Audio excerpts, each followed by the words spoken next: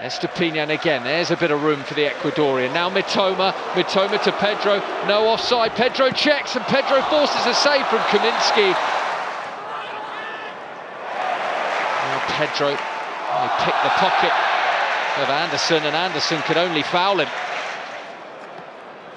Mitoma, oh what feet to get himself away from Doughty. Here's Pedro, Pedro goes down under the challenge from Lockyer, penalty given. Smartly done from Pedro. He beats Kaminski for a debut goal. Now Pedro's away down the left-hand side. Pedro has a dinger in the middle. He's got Mitoma on the overlap. Here's Mitoma. Can he pick the cross? It's a great counter. Pedro knew Mitoma was there. A debut goal. So much threat from the Brazilian. Looks like he'll be a fan favourite here.